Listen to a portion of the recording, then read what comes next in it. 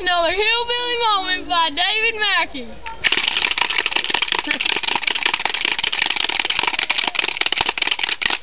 David! My tractor won't start. You can't zoom in once you're telling me. Yes, he is.